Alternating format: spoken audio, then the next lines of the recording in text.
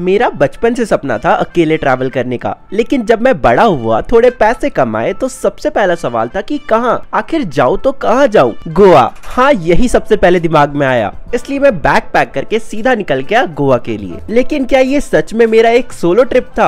आ, पता नहीं। अब देखो मेरी फ़्लाइट को लैंड होते होते रात हो जाता है। एंड डूड जिस पार्ट में मेरा रिजॉर्ट था ना वो लेजिट जंगलों के बीच में था। मुझे जंगलों के बीच से होकर अपना रिजॉर्ट पहुँचना पड़ता है। लेकिन रिजॉर्ट को देखकर बिल्कुल भी डिसअपॉइंट नहीं हुआ। मैं रुका था ग्रैंड वाटिका रिजॉर्ट में और यहाँ की वाइव उफ, ऐसा लग रहा था कि हम नेचर के पैराडाइज में आ चुके हो। वैसे मैंने गोवा में बहुत सारी पिक्चर्स ली है जो तुम्हें मेरे इंस्टाग्राम में देखने को मिल जाएगा। अगर इंटरेस्टेड हो तो फॉलो कर सकते हो। एंड कुछ पिक्चर्स तो अपलोड होनी भी बाकी है। लिंक डिस्क्रिप्शन में है। खैर, यहाँ पे हमें देखने को मिलता है swimming pool trees garden greenery and बहुत सारे प्यारे प्यारे छोटे छोटे कॉटेजेस वो भी इतने बड़े एरिया में। यहाँ पे रहने का मज़ा ही अलग था। वैसे यहाँ पर हमारा स्टे फाइव डेज़ का था। वैसे अगर आप लोग कभी भी गोवा आते हो ना तो आरम्बोल के पास ही रुकना। This is the best place in Goa Goa की असली वाइब्स तो यहीं आती है। यहाँ के बीच भी सबसे ज़्यादा क्लीन है और एस्थेटिक है।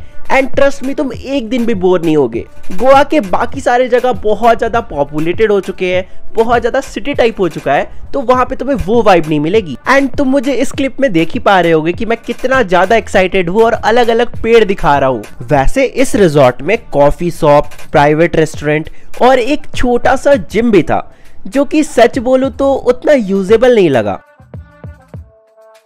और फिर यहाँ पे है ये वेल, जिसका मुझे नहीं पता यहाँ पे क्या काम है, लेकिन काफ़ी प्यारा सा एस्थेटिक सा लग रहा है। और यहाँ पे फिर से कुछ पेड़ पौधे इसके बाद मैंने सोचा कि तुम सबको मेरे कॉटेज का इंटीरियर भी दिखा दूँ, लेकिन फिर याद आया कि मैंने पूरे कपड़े परोस रखे हैं। इसके बाद मैं सुबह नौ बजे उठकर अफो कैफ़े जाता हूँ, जो कि पास में ही था एंड यहाँ के खाने काफ़ी टेस्टी एंड ऑथेंटिक थे। मैं बेस्ट नहीं बोलूँगा, क्योंकि यहाँ पे हमने डोसा ट्राई करा एंड उसके साथ जो नारियल, टमाटर की चटनी थे, और जो सांबर था, वो काफ़ी हेल्दी वे से उन्होंने वहीं पे बनाया था। इसके बाद हम आरम्बोल बीच जाते हैं, जो कि पास में ही था and I can definitely say this is the best beach in Goa इसके बाद मैं बहुत सारे गोवा के पॉपुलर बीचेस भी जाता हूँ, लेकिन ट्रस्ट में वो सारे इसके सामने थोड़े फीके लगते हैं। एंड इसका मेन रीजन है पॉल्यूशन एंड लोगों की भीड़। इसके बाद हम चिकी मंकी के पास बैठते हैं और कढ़ाई पनीर और नान ट्राई करते हैं। It was so tasty and spicy इसके बाद हम यहीं पर बैठकर पूरा शाम एंजॉय करते हैं, पूरी रात एंजॉय करते हैं। एंड काफ़ी लेट नाइट होने के बाद हम वापस अपने रिजॉर्ट जाते हैं। और तुम देख ही सकते हो, रात को यहाँ पे जो सी साइड रेस्टोरेंट्स है ना, वो कितने प्यारे लगते हैं।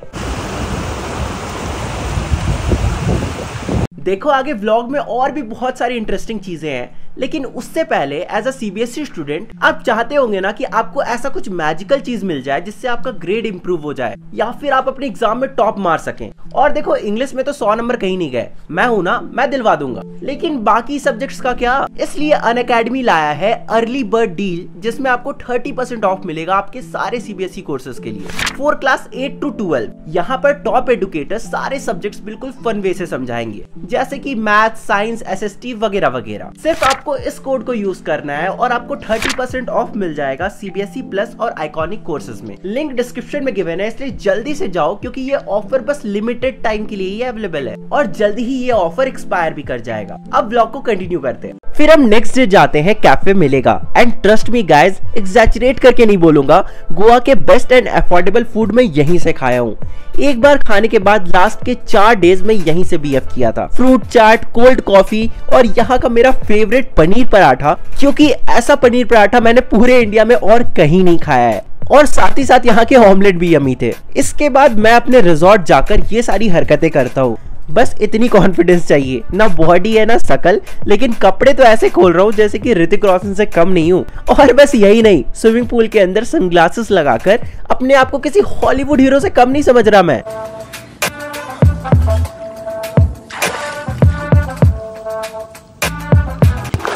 और देखो, तैरना आता हो या ना हो, लेकिन भगचोदी पूरी करनी है।